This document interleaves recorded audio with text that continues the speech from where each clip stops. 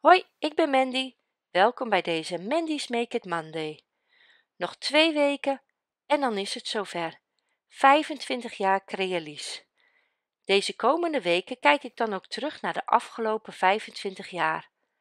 Daarom heb ik een aantal boekjes tevoorschijn gehaald die Annelies in de beginperiode van Crealies heeft geschreven. Vandaag scrapkaarten. Snij een stuk blauw karton van 9,5 bij 29,5 cm. Ril deze op 6 en 19,5 cm. Snij een strook crème karton van 9 cm. Snij een strook lichtblauw karton van 3 bij 21 cm.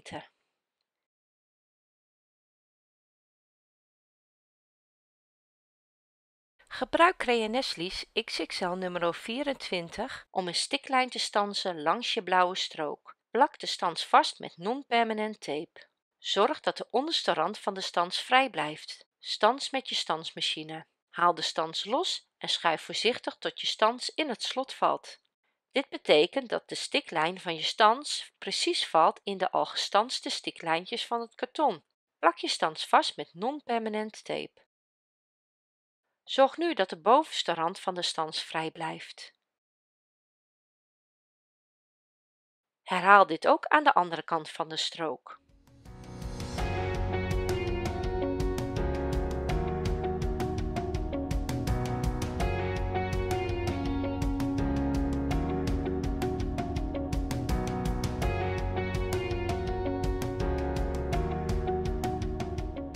Je hebt nu een strook met een stiklijn aan drie zijden. De ene korte zijde verdwijnt namelijk straks onder de andere korte zijde.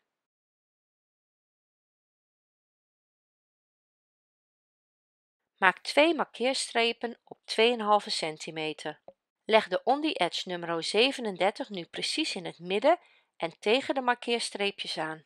Plak de stans vast met non-permanent tape. Stans met je stansmachine. Herhaal dit aan de andere zijde.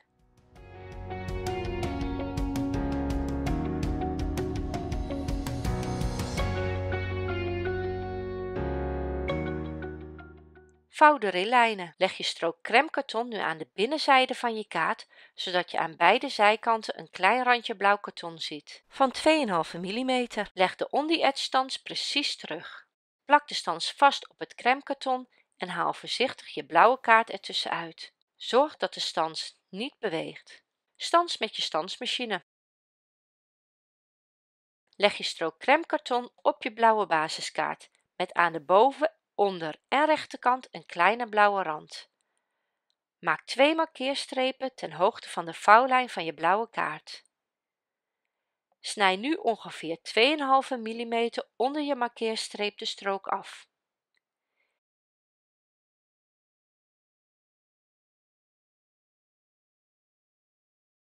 Je hebt nu een passende layer gemaakt voor op je blauwe kaart.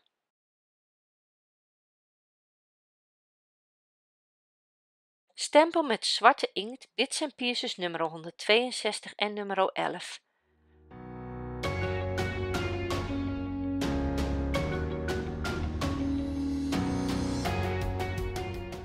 Plak de layer op je blauwe kaart. Smeer overal lijm, want je moet straks nog een opening stansen.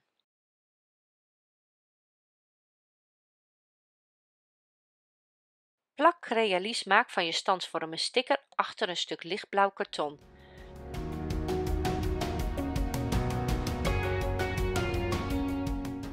Stans hieruit extra nummer 14. Stans ook je foto met extra nummer 14. Ik heb gekozen voor een foto van het Crealies Design Team. Stans uit zwart karton de cijfers 2 en 5. Plak hier ook eerst Crealies maak van je standsvorm een sticker achter het papier.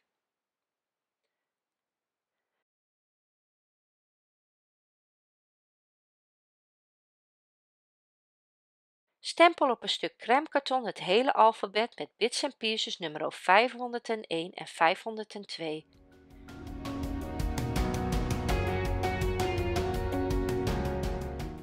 Ook hier had je Crealis maak van je standsvorm een sticker achter kunnen plakken, maar ik wil straks variëren met de hoogte. Gebruik decorette nummer 21 voor het uitstansen van alle letters. Met on the edge nummer 31 ga ik een sluiting stansen. De vorm van deze stans is precies hetzelfde als de on the edge nummer 37. Leg de stans neer en haal dan voorzichtig de klep onder de stans uit. Plak de stans vast met non-permanente tape en stans met je machine.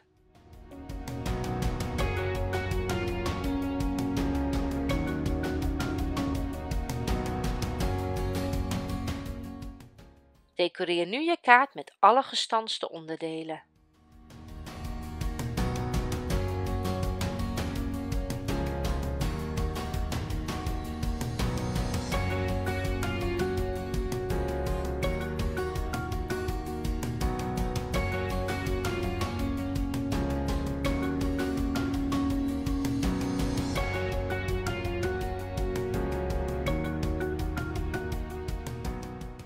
Annelies houdt van strak en recht en ik juist van net een beetje scheef, dus combineer ik beide bij het opplakken van de letters.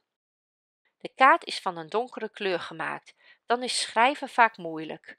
Ik stans daarom een binnenkaart. Ik gebruik hiervoor Crea Nestle XXL nummer 24 en de rechthoekstans is 12,5 bij 8,5 cm.